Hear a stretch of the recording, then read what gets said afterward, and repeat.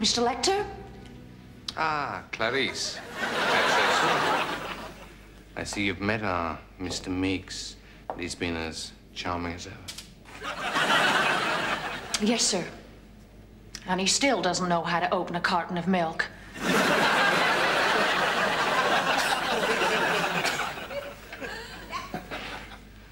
Mr. Lecter, I wanted to talk to you about. Chanel number five, if I'm not mistaken. I hope you enjoyed your Indian meal last night, Clarice. Chicken madras,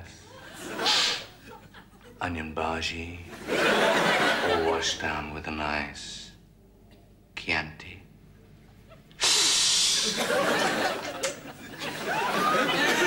Mr. Lecter, you know, you could really help me.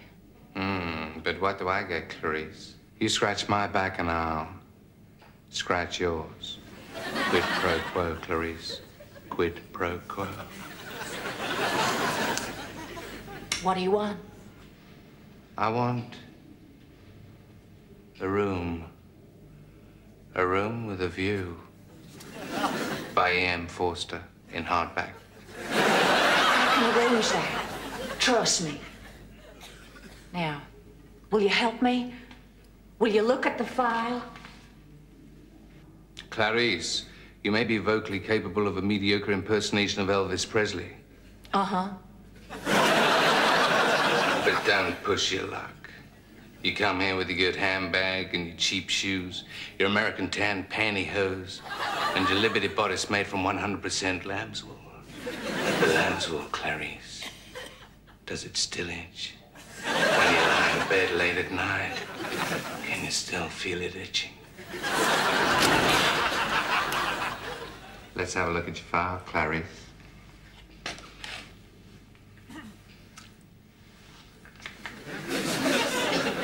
My, my, my. I must warn you, Clarice. If I help you, you're gonna have to pay quid pro quo. Clarice, do you know what I do to people?